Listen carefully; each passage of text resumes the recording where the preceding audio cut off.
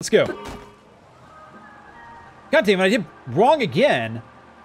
I'm an idiot. I'm a moron. My freaking boat!